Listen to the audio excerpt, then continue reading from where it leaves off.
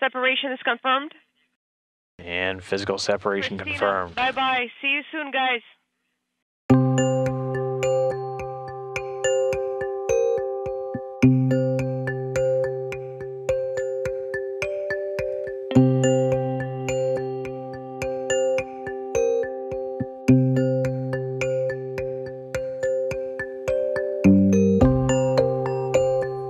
The Soyuz vehicle is a very reliable vehicle. Our Russian partners are, are well experienced with uh, descent in, uh, back to Earth, but you know, I'm typically very concerned about, uh, the, about the descent and, and the landing. There are still risks, significant risks associated with space flights.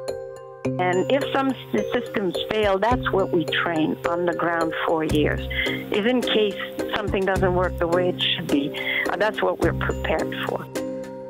it was uh, it was a relief. I think the biggest relief for me came uh, just seeing the parachute open. Uh, that's kind of the the moment when you're like, okay, uh, all the main things have happened. Everything's going to be okay here.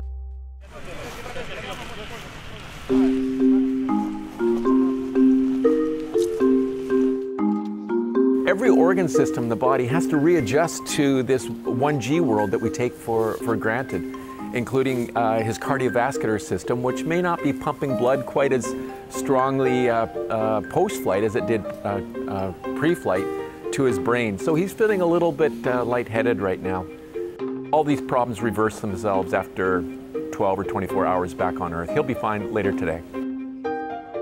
just fell back from the sky. Gravity is not my friend. but the, you know what's striking me is the smell of grass, the smell of the wild grass here. It's just beautiful. Thank Does it you. Feel like you're all messed up inside, or what? Yeah, I mean gravity is not my friend. I, uh, I'm having these. Uh, you know, I need to learn, to learn to walk again.